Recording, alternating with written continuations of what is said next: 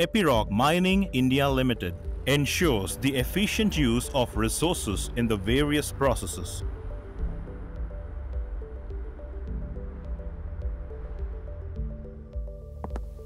Hundreds of chemicals are used in day-to-day -day activity and workers are exposed to these chemicals. Safety measures to be followed while handling chemicals. Identify the type of the chemicals, whether it's harmful or dangerous, and check the signs and specifications before use.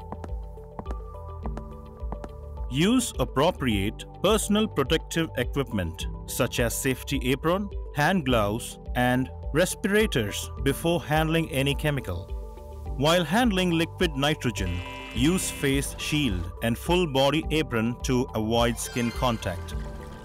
Conduct hazard identification and risk assessment before using any chemical.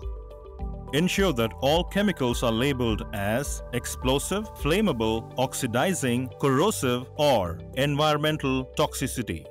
Do not keep the chemicals on the floor and unclosed. Store the chemicals in well-ventilated area.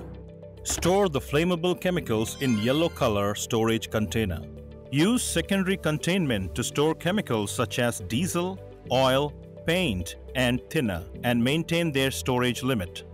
Do not inhale or inject any chemicals as they cause hazardous reaction on contact to the body. Do not drink, eat or smoke while working with hazardous chemicals. In case of chemical contact, inform your area first aider or supervisor.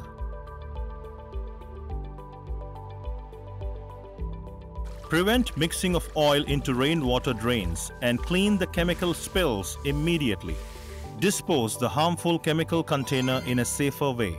Maintain the Material Safety Data Sheet MSDS to learn about the chemical specifications. MSDS includes details such as chemical name, physical characteristics, fire and explosion data, dangerous properties, precautions for safety handling, reactivity data, first aid and firefighting measures, transportation and disposal information. Keep all the MSDS in the first aid box of the respective region.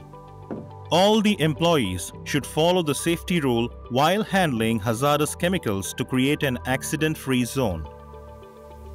Epiroc, united in performance, inspired by innovation.